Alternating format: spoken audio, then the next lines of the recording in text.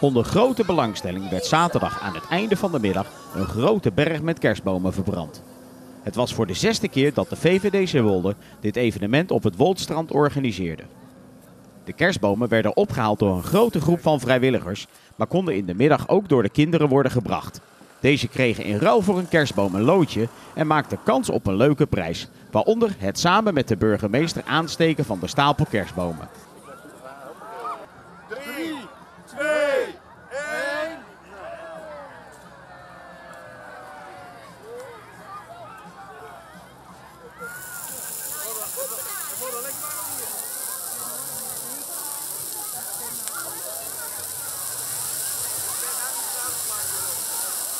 Dit jaar was de verbranding iets eerder dan voorgaande jaren, waardoor de stapel kerstbomen iets kleiner was.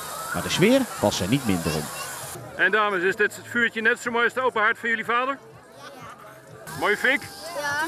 Mooie fik? Ja.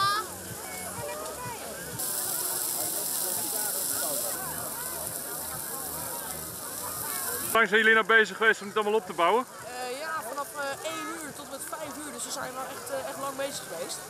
Maar eh, het is wel waard.